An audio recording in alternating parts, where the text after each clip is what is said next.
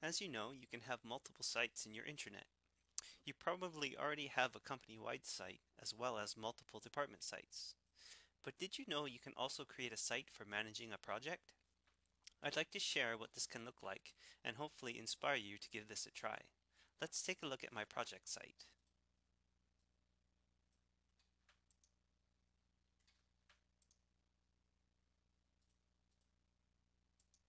Here's my Project Alpha site.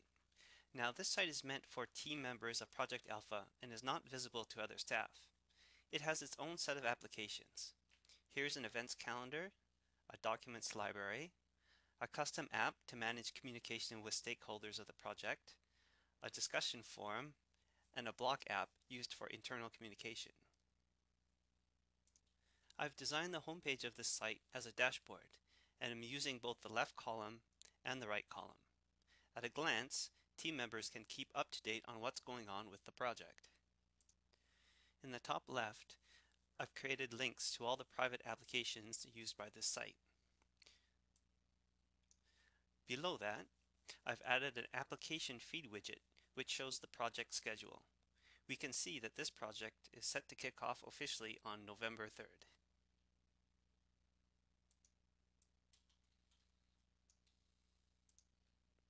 Over on the top right, I've added a task list widget. This simple widget lets the project manager create tasks that are visible to the entire team. When a team member completes a task, they can cross it off. So this PowerPoint's now finished, so I'll mark it as complete.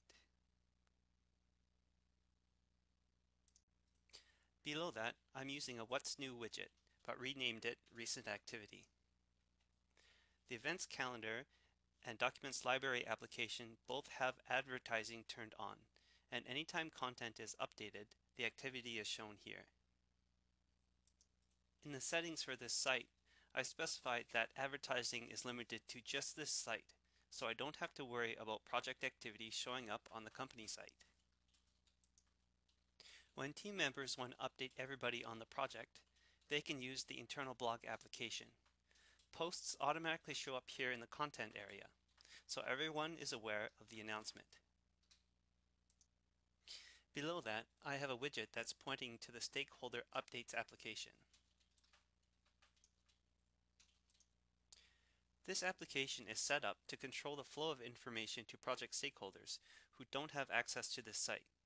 When the project team needs to send announcements, it is first routed to the project manager for approval. Previously sent announcements are shown here so everybody knows what has been sent.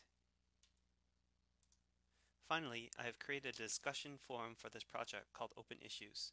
As team members encounter uncertainty during the project, they can post it as an open issue.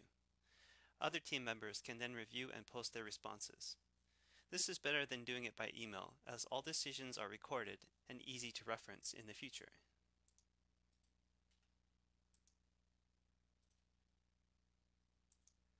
So that's my quick overview on how you can design a project site.